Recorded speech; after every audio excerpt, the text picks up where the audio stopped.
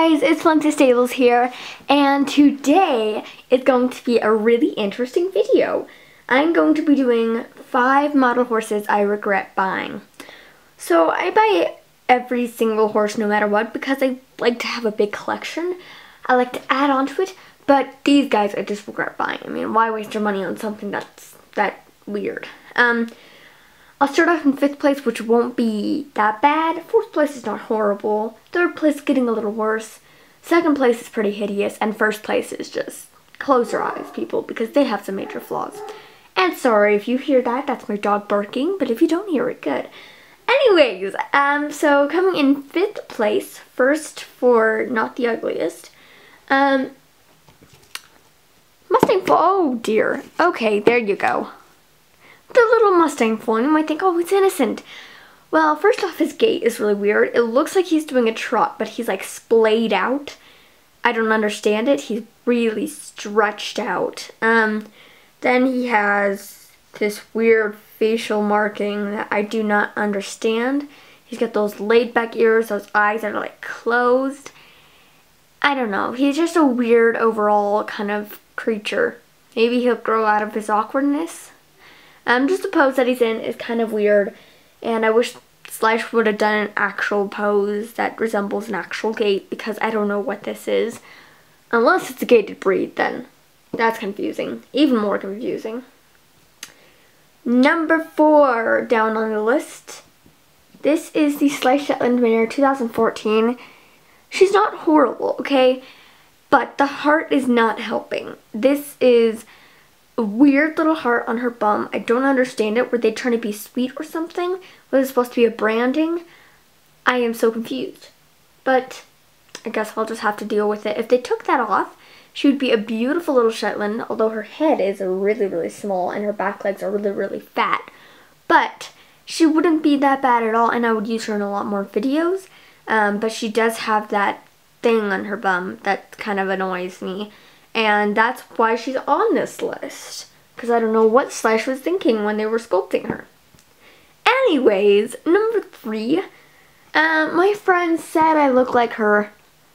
I thought that was kind of rude because her confirmation flaws. But they don't know what confirmation is, let alone what flaws there are. So I let them off the hook this time. I was totally fine with them. I was like, oh, thank you. If you look at the mare without her conformation flaw, she's a beautiful mare.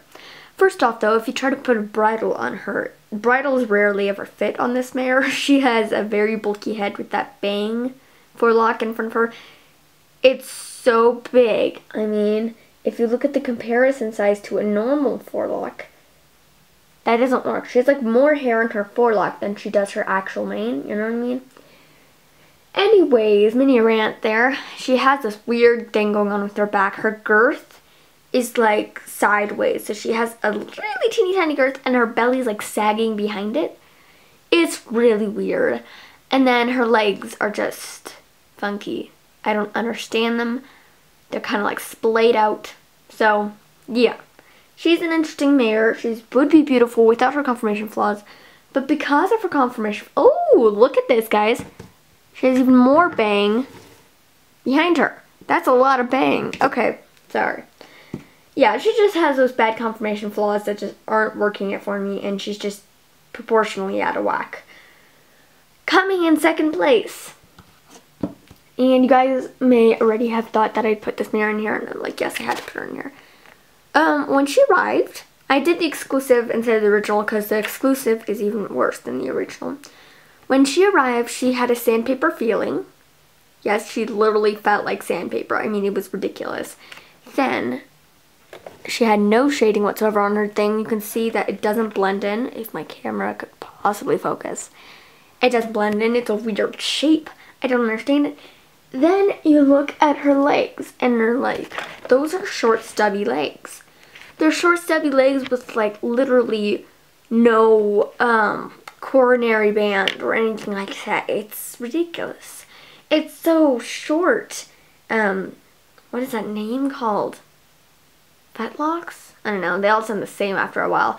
I'm not a cannon bone, I have that, but still, if you know what I mean, please comment down below what it is because, like, the little thing right here. It's so short. It's ridiculous. Um, it's she's just a weird Ottawa character. She may have been first if it weren't for me getting this guy over here on my side. Um, but yeah, she's not she's not good, and her husband ain't that much better. So, all right, another mini rant there. And last but not least, oh dear, I'm knocking everything over. I'm literally knocking everything over in my path. All my horses are knocked over. Okay, and my cavaletti, so joy. Anyways, you may by now realize that this horse is a little weird. He's got long, spindly legs. His mane is so big. It's ridiculous. His head. Okay, his head is so big. So big, guys. It's so big. I have to get a side angle of that. That's a big head. If you compare that to the head of a worker, yeah, he's too big. That is a problem that Schleich has recently been having with their horses. The right proportion sizes, they really need to spend more time to make sure that they're like lifelike horses. Because if they do that, then we would be so much happier. I do like his traditional draft braiding though. That is one thing I appreciate from Schleich that did that. But those legs, that neck, that head is so big. Not to mention his back. He has like no barrel, not the thickest barrel at all. He should get a really thick barrel and it just doesn't fit. I mean, it's kind of sad. It, I don't know what Schleich was thinking at this point. Maybe they saw it looking like a horse. I, um, I went to the STS forum and one of the people said there that it resembles more of a traditional Shire, um, I mean Clydesdale, with the longer spindly legs. And I do agree with that. Schleich maybe was looking at those pictures. But that is no excuse for the oversized head, the small barrel, and the long giraffe neck. Um, so do not buy this guy if you want a weird horse, unless you're going to put him on a shelf for the rest of your life and not look at his conformation flaws. He's not the world's best buy. But he is beautiful outside the conformation. I want to give you a little bit of credit. I, I always feel bad if I'm like roasting my Schleich. I want to give them a compliment so badly because I feel bad for them. If anyone else does that, please comment down below. Anyways, that was the last of the horses. And as you can see, Schleich has some proportional issues with some of the horses or just technical flaws that were pretty simple to fix. But that is just a few of them. There are a few others that have small things, but I wouldn't put those on the list. Um, and overall, I think Schleich has actually kept their bearings really well for having like over 300 horses. Well, 250 around. Um, having over 250 horses and most of them not having those weird flaws. But lately their work has been a little bit of sloppy, a little bit sloppy, and if you agree with me, please comment down below as well. So guys, that was all for my video today. Remember to comment, like, and subscribe. Um, if I'm the only one who has been say, saying subscribing, I read it closer and it's subscribing. I was in mad, but I'm still going to say subscribing because I like that better.